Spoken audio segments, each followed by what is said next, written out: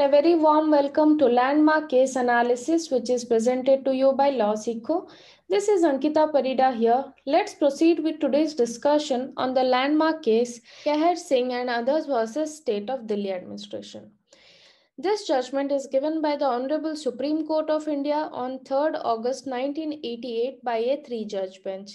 This judgment is regarding the assassination of our Honorable Prime Minister Mrs. Indira Gandhi. Let's understand the brief background of this case. During 1980s, the Khalistani movement was active. The Indian Intelligence Bureau reported that the militants are taking refuge in the Golden Temple Amritsar and also are getting their training there. In 1984, the Prime Minister of India, Srimati Indira Gandhi, tried negotiating with the militant group that is the Khalistanis and worked on resolving their problems. However, it was rejected by the militant group. Thereon, Operation Blue Star was launched by Indian Army on 1st June 1984. Operation Blue Star was aimed at attacking many Sikh temples simultaneously across the state of Punjab. On 3rd June 1984, the Indian Army entered Golden Temple complex to capture Sikh leader Jarnail Singh Bhindranwale and his followers, who were taking refuge in the Golden Temple. This operation caused a huge chaos in the temple and also it resulted in damage to the Golden Temple, which is a very eminent religious place for the Sikh people and for their community. This incited the religious feeling of the Sikh people and the community, and this led to a great resentment in the Sikh community, and it led to expression of dissatisfaction towards the Prime Minister decision to order Indian Army to enter Golden Temple, which is one of the most important shrine of the Sikh community the religious leaders of the Sikh community went publicly against the Prime Minister Indira Gandhi, and the dissatisfaction grew amongst the public.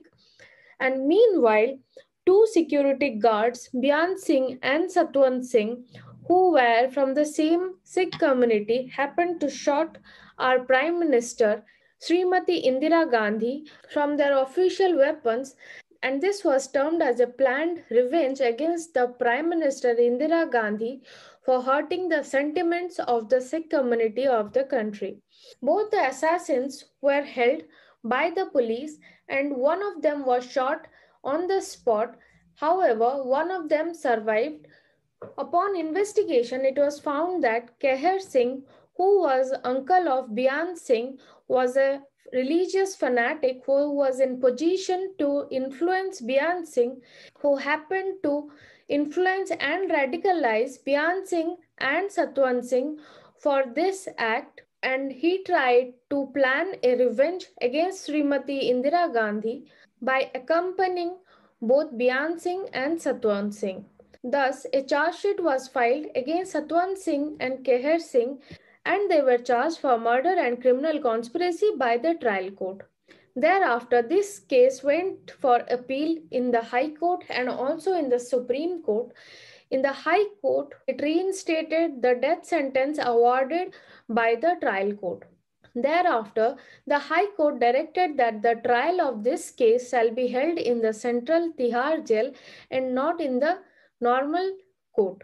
Based on this decision, it was contested and therefore the issue of law involved in this case is whether the High Court has the power to direct the trial of a case at a place other than the normal seat of the Sessions Court. Now let's have a look at the judgment and reasoning given by the court.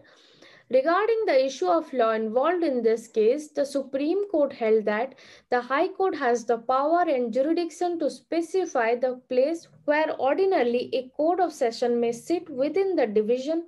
And as the High Court by notification has notified that Tihar Jail is one of those places, therefore the session court could hold its sitting in Tihar Jail and it is not anywhere restricted.